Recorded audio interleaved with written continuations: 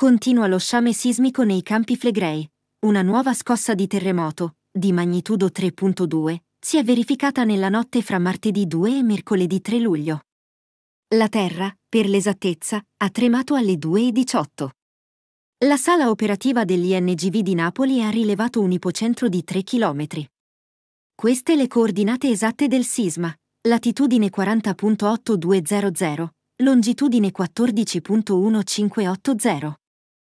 La scossa di terremoto è stata percepita chiaramente in tutti i comuni del circondario, Pozzuoli, Quarto, Bacoli, Napoli, Monte di Procida, Marano di Napoli, Calvizzano. Il sisma del 3 luglio è stato percepito anche nei comuni oltre i 10 km dall'epicentro, da Mugnano di Napoli, Quagliano e Villaricca ai più lontani Frignano, Teverola e Villa di Briano. Napoli, Pozzuoli e Bacoli, nello specifico, sono i comuni interessati dagli sgomberi degli edifici giudicati non agibili. Per la popolazione interessata è stato stanziato un contributo mensile casa che va da un minimo di 400 a un massimo di 900 euro. 200 euro in più verranno elargiti a chi nel nucleo familiare abbia un anziano over 65 o un disabile con percentuale almeno al 67%.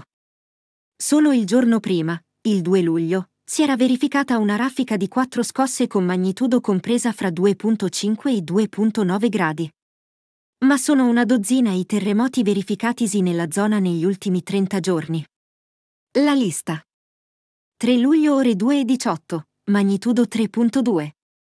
2 luglio ore 15 e 14, magnitudo 2.5. 2 luglio ore 15 e 13, magnitudo 2.8. 2 luglio ore 15 e 11, magnitudo 2.7. 2 luglio ore 15 e 10, magnitudo 2.9. 24 giugno ore 6 e 15, magnitudo 2.0. 18 giugno ore 3 e 58, magnitudo 3.4. 8 giugno ore 4 e 17, magnitudo 2.3. 8 giugno ore 4 e 10, magnitudo 2.7. 8 giugno ore 4 e 9, magnitudo 3.7.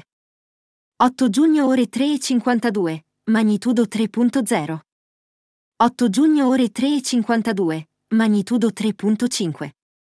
I campi flegrei sono interessati dal fenomeno del bradisismo, un lento movimento del suolo che porta sia al suo sollevamento che allo sprofondamento. A circa 2 km di profondità, sotto la caldera dei campi flegrei, c'è una roccia di forma cilindrica che sta influenzando il sollevamento della zona. Il masso ha un'altezza di 500 metri e un diametro di circa 5 km. Sono tre le criticità correlate alla zona. Attività sismiche. Rischio di eruzioni vulcaniche. Rischio di esplosioni freatiche, esplosioni d'acqua dovute alle pressioni e alle temperature estreme. Lo spostamento della Terra dovuto al bradisismo è ripreso a partire dal 2005 senza fermarsi. Un evento catastrofico imminente viene giudicato dai vulcanologi non del tutto impossibile, ma relativamente poco probabile. Il video finisce qui, ma se sei interessato alle news puoi iscriverti al canale e attivare la campanella per non perderti nuovi video.